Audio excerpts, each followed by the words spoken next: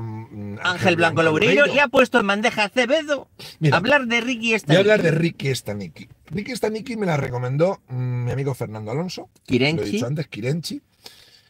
Eh, es una película que tenéis en. Ahora mismo se me acaba de olvidar si es Netflix o Prime Video. Está en las plataformas. Está en una plataforma. Está, una- está gratis. Está de gratis. Se puede ver, gratis. Está dirigida por uno de los Farrelly, uno de los hermanos Farrelly. ¿Qué significa? Creo que es Peter Farrelly. ¿Qué significa eso? Que ya sabemos lo que nos vamos a esperar.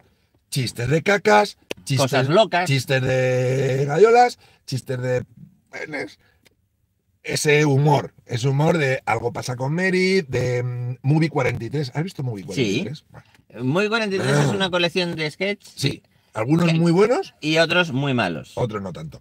Bueno, pues eh, Ricky Staniki es una película eh, que pasa lo siguiente. La, la historia es, el resumen es la siguiente. Son tres amigos de- que de niños gastan una broma en Halloween, se les va de la mano la broma y prenden fuego a una casa. Entonces, eh, ¿qué hacen? La estrategia es una, una jugarreta de esas que harías tú, doctor. que es posible. que a uno de ellos se le cae la cazadora cuando están huyendo y a otro se le ocurre y dice, espera un momento, coge la cazadora y por dentro en el cuello pone Ricky Staniki.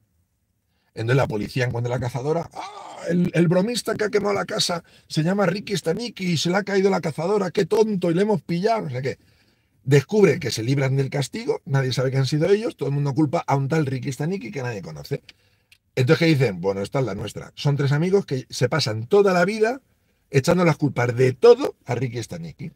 Quedan, por ejemplo, están con su novia y dice, uy, esta noche no puedo quedar, es que tengo que ir, que es un- hay una fiesta en casa de Ricky Staniki, es que a Ricky Staniki le operan, es que Ricky Staniki me ha llamado, le usan para todo.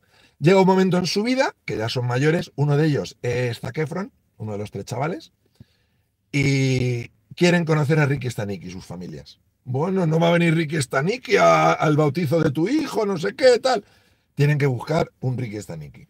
¿Quién es Ricky Staniki? John Cena.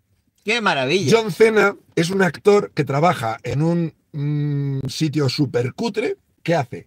Imitando a famosos cantantes, pero cambiando todas sus letras, todas sobre la misma temática, que es la masturbación. Sale, hay cosas, hay cosas gloriosas. Sale vestido, por ejemplo, de Britney Spears y canta una canción de Britney Spears, pero hablando de la masturbación. Imita al de Culture Club. Imita a, no me acuerdo cuántos, un montón, van saliendo y es muy, muy gracioso. Y entonces le, le dan un libro enorme que tienen, que es la Biblia, con todo lo que ha pasado con Ricky Staniki en su vida, y tiene que empollárselo. Y él, como es un actor del método, se lo aprende y hace de Ricky Staniki. Lo que pasa a continuación te sorprenderá. O sea, llega Ricky Staniki allí, conoce a su familia y se empieza a liar parda. Con algunos gags buenísimos, de verdad, algunos muy buenos, otros, mm, ya sabéis, yo como los Farrelly, ves una peli de los Farrelly, tienes unos cuantos momentos que te ríes mucho y luego unos cuantos que dices, madre mía, ¿por qué estoy viendo esto? Pues yo de pequeño, Variaciones. ahora que lo has dicho de ello, yo de pequeño tenía un Ricky Staniki. ¿En serio? ¿En serio? Era yo muy pequeño, Una simpática jugarreta. 5 o 6 años, y yo más de una vez le eché la culpa a un niño imaginario que se llamaba Facundillo.